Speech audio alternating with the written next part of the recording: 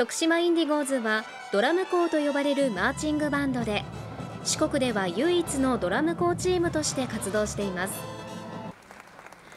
ドラム校とは軍隊を起源に持つマーチングバンド編成のこと。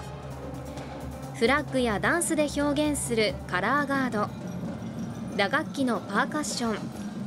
金管楽器のビューグルの3つから構成されています。今年はメンバーも新たに増えてパワーアップ。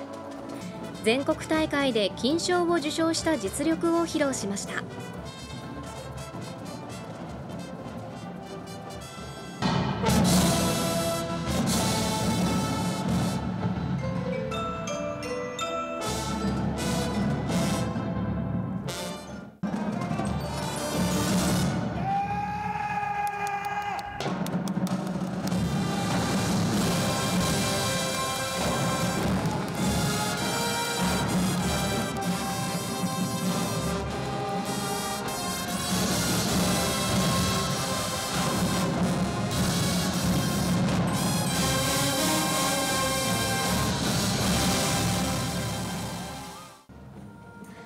迫力ある演奏と統率の取れたフォーメーション観客たちはその素晴らしいパフォーマンスに酔いしれていました